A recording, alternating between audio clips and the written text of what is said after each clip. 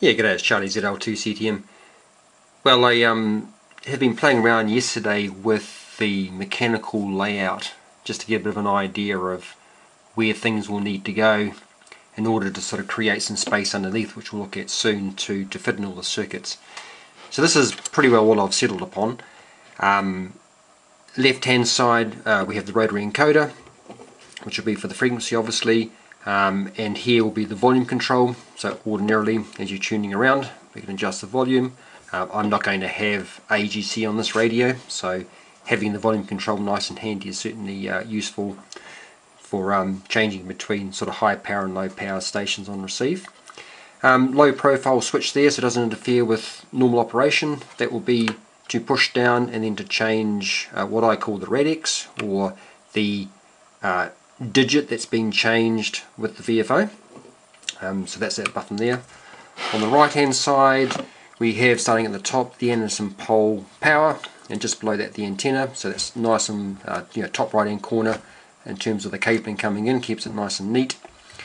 Uh, the switch next to it debating about what I'm going to do with that one. Um, you'll see later on in the uh, the topology when I talk about that that there will be the option potentially to have a, an RF amplifier coming off the um, antenna. Debating if that's going to be for that or not, we'll see. Uh, just below that, um, either way, the ATU will be um, switched in and out, so you can have it either uh, in for non-resonant antennas, or if we have a resonant antenna, um, have it switched out.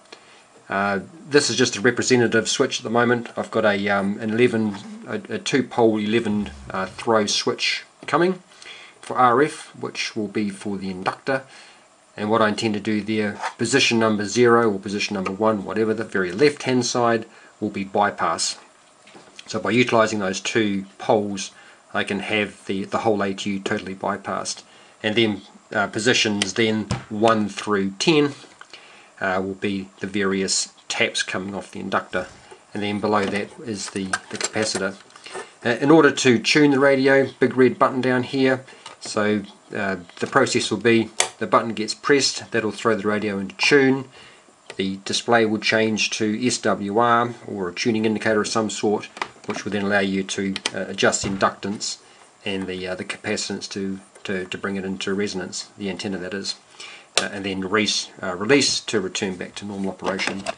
Uh, and um, microphone bottom right hand corner again to keep the, the cabling away from the normal controls over here. So what does that mean for underneath? Um, not too bad. Basically, a of, do a bit of shoehorn to get it all in. So that's the, the layout there. We've got the speaker, of course, um, the uh, display. Uh, the intent will be to have the microcontroller mounted just above that, and then just the left-hand side will be the SI5351 so it keeps that all in nicely closed up area there along with the, uh, the rotary encoder uh, and the, the radix switch here. Uh, that's, a, that's the thinking anyway and then that gives me the space here to, to try and squeeze everything in. I'm going to have to um, done or do what I've done in, in previous builds. As an example, here's one from a while back where I'll have to create some vertical boards there to allow the various um, modules to, to, to, squeeze into the available space, which is fine. Uh, in an ideal world, it'd be very nice to have it all nicely laid out, but that's just not going to happen. So, like I say, there'll be a series of, of vertical boards there to separate um, the various circuits and to create the the, um, the area I need to, to make it all work. So anyway, like, like I say, that's just a, a work in progress. Um, I need to do this sort of early up just to uh, to think about then um, this, the available space uh, then to make some decisions on on how it's all going to fit and um, what the circuits may look like. Other than that I'm sort of relatively happy with how that's turned out. It certainly fits in the box nicely um, and it all closes up like it should. So yeah, all good. So next steps, um, I just want to sort of quickly touch on the, the topology that I've, I've settled upon and uh, sort of next steps. So simplistically, for on receive, uh, we've got the uh, RF coming in through the ATU. As I mentioned, that'll be uh, bypassed, so we can have the ATU in or out. Uh, there will be a relay here which will serve two purposes. It will be to switch the antenna between the receive uh, and the transmit and then the second pole will be to switch the 12 volts between the receive circuitry and the transmit circuitry. So um, in the past I have used a mechanical switch to do that which has worked very well. Um, but in this particular case because I have a microphone here with a nice PTT in there it's going to be easy enough then, well not so much easy enough, um, in this particular case uh, it'll be done with a relay. Um, that RF will come through. I've elected to have the RF amplifier prior to the bandpass filter. There's pros and cons either way. Um, I've decided to go this way just in case that if I had a, a really weak signal um, I wasn't reducing it further and, and, potentially putting the noise floor before the amplification. Um, I'm pretty comfortable here in our environment um, that overloading is not going to be an issue so I'm quite happy to have the RF amp prior to the bandpass filter. Either way, RF amp will be in here. Um, still a bit of a question mark if I want to have that switched in or out. Um, ordinarily below 10 megahertz there's not a great uh, need to have amplification prior to the mixer um, but because I'm running negative feedback amps here my overall gain is going to be reduced across the IF strip uh, so um, I'm probably more than likely, rather than having, say, a second amplifier within the IF strip uh, on either side of the, of the crystal filter, uh, I'll make up that lost gain through an RF amp over here. So that's pretty well we're going to settle on. So that switch may or may not become redundant. And there's still a little bit of a question mark in terms of the ATU switch that comes if I'll have sufficient room underneath that uh, wafer switch to have the inductor. Um, if I can, that'll be great. If not, then um, yeah. Anyway, I won't go into here, but a bit of a question mark around the, the function of that switch. Anyway, so we're talking about receive here. Bandpass filter that'll be a um, for 40 meters, so 7 megs, and then into the uh, the mixers and the IF strip.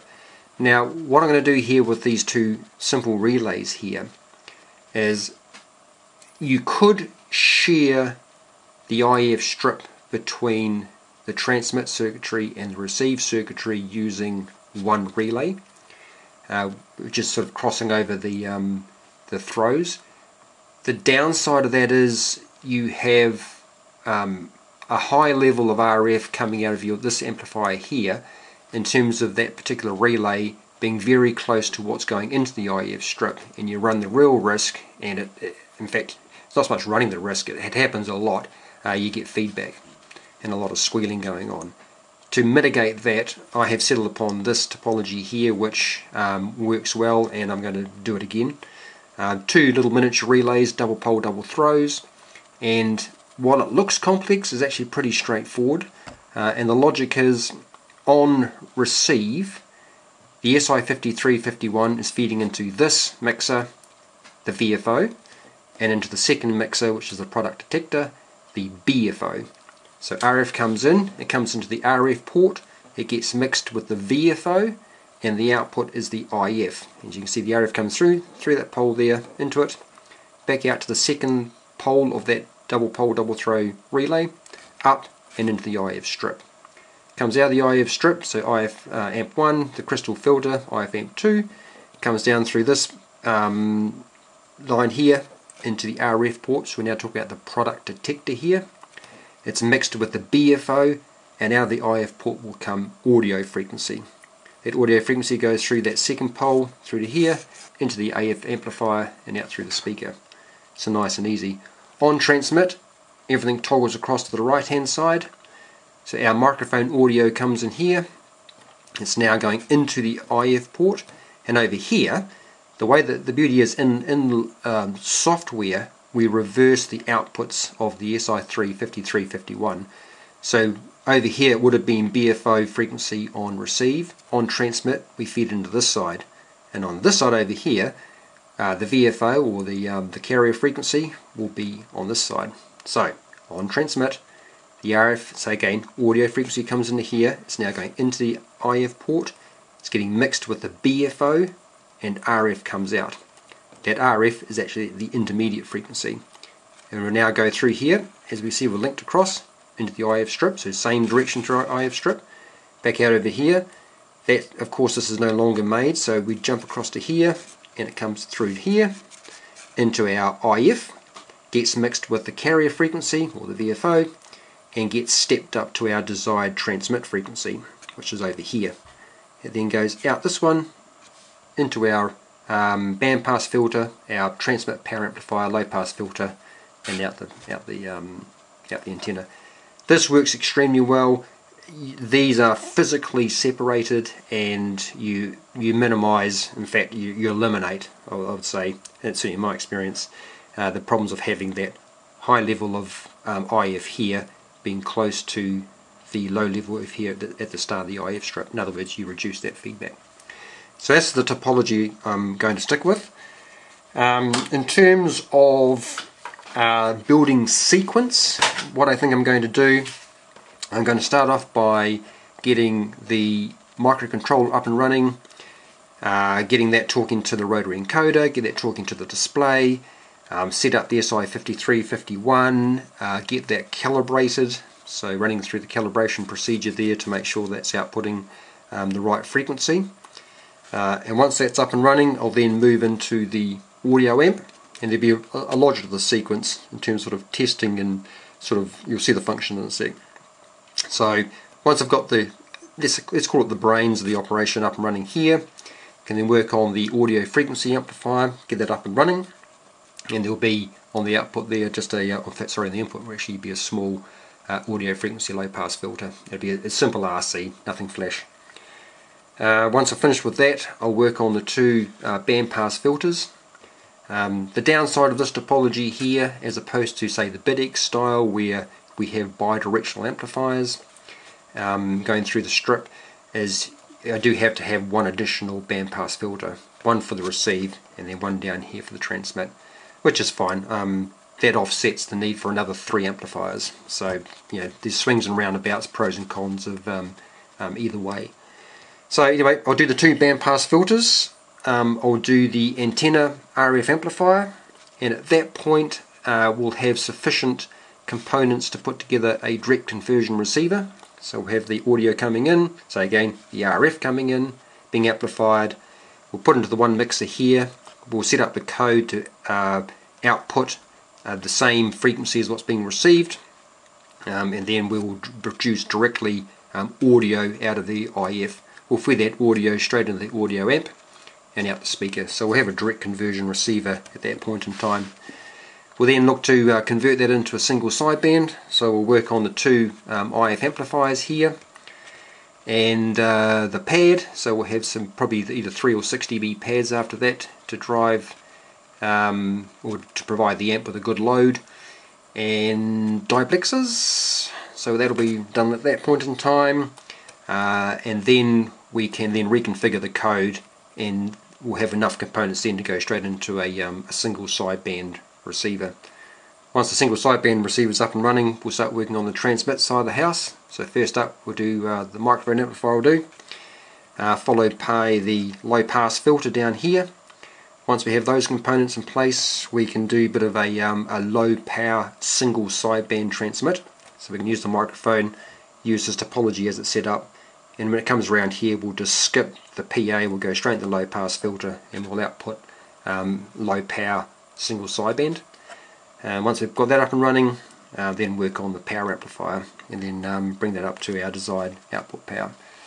So that's the current thinking. Um, that should keep me out of uh, out of mischief for for a few weeks.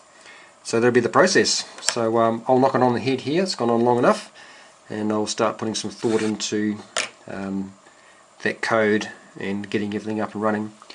What I will be doing is I will build all of that on um, a piece of um, board with some with a cop board, uh, prove out the design on that, and then once the overall design has been proven, will then become the, uh, the fun and games part of actually shoehorning that into the available space. Um, I don't want to do that up front because um, I'm not 100% sure exactly how the circuit's going to go uh, and the sizes of the individual modules and uh, I'd much prefer to do that separately and then like I say, with those the way I do my boards, I can then pick them up individually and work out how they're going to fit. Uh, you know what where the vertical boards need to be to make it to make it all go. Anyway, um, I've probably made that sound horribly complex, but that's the way my brain works, and that's how I think, um, and that's going to be the process. Anyway, I'll say 73 here, and I'll get back to noodling. Cheers all.